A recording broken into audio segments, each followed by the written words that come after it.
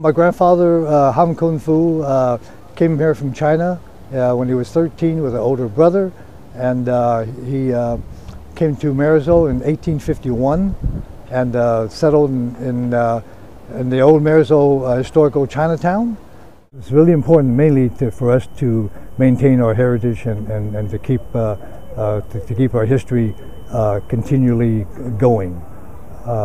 mainly for for, for the younger generation to see. And uh, we do have a lot, a lot of history for the Chinese here because uh, it was uh, one of the second uh,